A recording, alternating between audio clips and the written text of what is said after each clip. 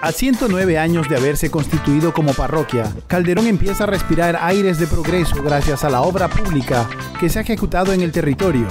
como parques, calles y obras de protección. Y esto no termina aquí. En camino viene una serie de proyectos que permitirán seguir transformando los destinos de esta centenaria parroquia que en muy pocos días contará con una moderna y ecológica planta procesadora de maní, que además de aportar con plazas de trabajo y divisas para la parroquia, esta obra marcará el punto de partida del encadenamiento y fomento productivo de todo el cantón. Hay que recalcar puntos importantes en la ejecución de este proyecto, es que se enmarca en el programa de desarrollo agroproductivo del Cantón Puerto Viejo. Como nuestro segundo eslabón es mejorar las cadenas de comercialización y la consecución de cuatro centros de acopio, este es el primer centro de acopio que estamos ya finiquitando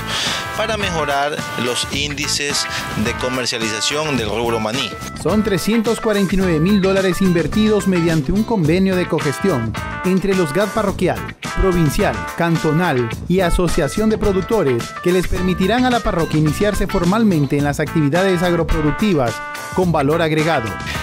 Eh, este convenio va justamente para valorar el trabajo que hace el agricultor en el medio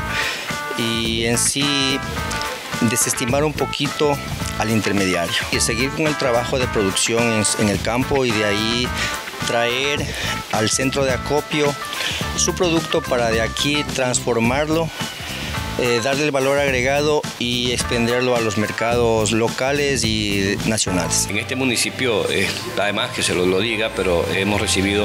un aporte fundamental del municipio de Puerto Viejo, lo que ha hecho y ha logrado que se levante la autoestima del, calderonense. Yo no diría solamente en Calderón, porque el alcalde está trabajando justamente con todas las siete parroquias rurales del Cantón Puerto Viejo y muestra de eso es de que también se están eh, proporcionando o dando obras para en los próximos días también poderlas inaugurar en las parroquias rurales. Puerto Viejo nace de ti.